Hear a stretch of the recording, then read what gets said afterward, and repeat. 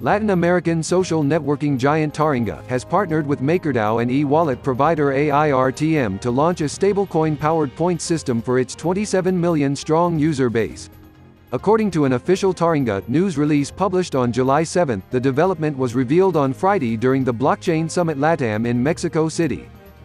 The pilot program, dubbed Taringa, Pioneers will reportedly reward users with points for creating popular platform content, which can then be monetized by being converted into MakerDAO's Ethereum blockchain-based stablecoin DAI. Taringa's news release places a strong accent on the program's potential to offer users a secure and stable store of value, as well as financial independence from governments.